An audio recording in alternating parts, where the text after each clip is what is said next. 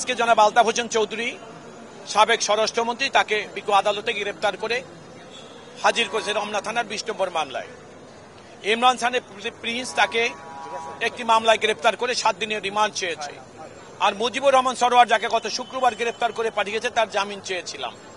মজিবুর রহমান সরোয়ারের জামিনের আবেদন নামঞ্জুর করে দিয়েছে। আর আলতাফ হোসেন চৌধুরীর তার রিমান্ড চায় তাকে জামিনের আবেদন নামঞ্জুর করেছে।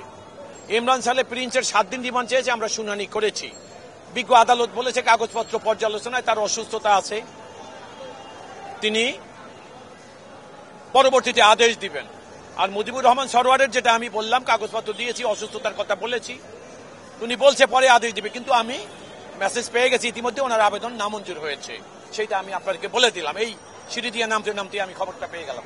এনিওয়ে আমার বক্তব্য হলো, এই সরকার দুই হাজার চোদ্দ আঠারোতে রাজনীতিকে যেভাবে নিয়ন্ত্রণ করেছিল নিম্ন আদালত এবং পুলিশকে ব্যবহার করে সেই একই কায়দায় রাজনীতি নিয়ন্ত্রণের প্রক্রিয়ায় সরকার চলছে।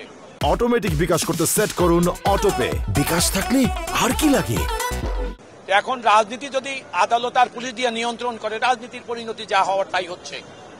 নাহলে দেশের স্বরাষ্ট্রমন্ত্রী তাকে পুলিশের ক্যান্টিন ভাঙচুরের মামলায় আসামি করবে। এটা হতে পারে এটা বিশ্বাসযোগ্য।